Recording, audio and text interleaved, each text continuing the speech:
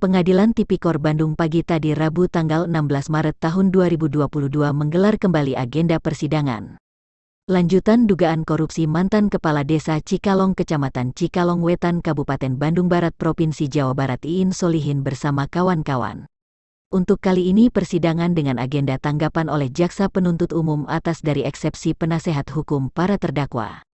Sidang diketuai Majelis Hakim Eman Sulaiman Sarjana Hukum. Adapun pembacaan tanggapan oleh tim jaksa penuntut umum dari Kejaksaan Cimahi menyampaikan untuk menolak dalam nota eksepsi oleh penasehat hukum para terdakwa kepada hakim yang menyidangkan perkara dugaan korupsi di Desa Cikalong. Selesai pembacaan tanggapan oleh jaksa penuntut umum Majelis Hakim menyampaikan untuk membuat putusan sela.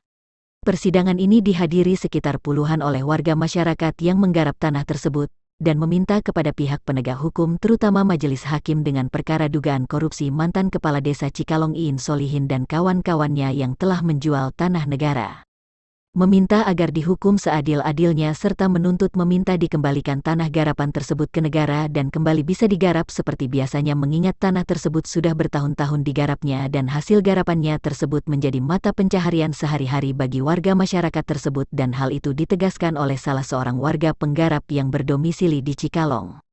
Dari Pengadilan Tipikor Kita Bandung, Jawa Barat, Berman Sigalingging kontributor Berita 7 melaporkan.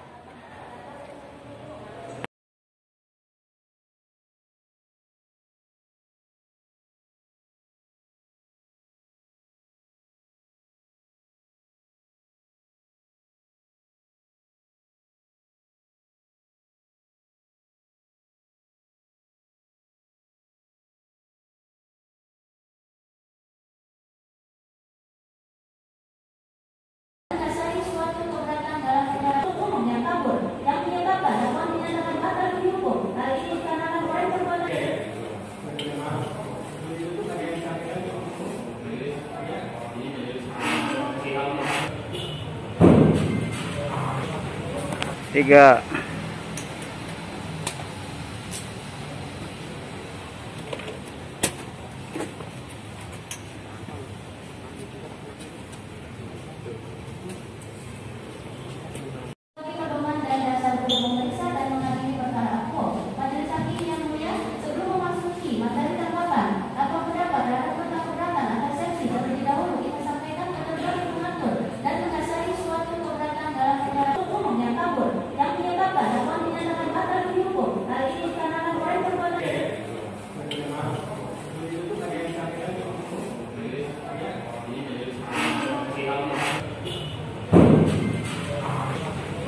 tiga.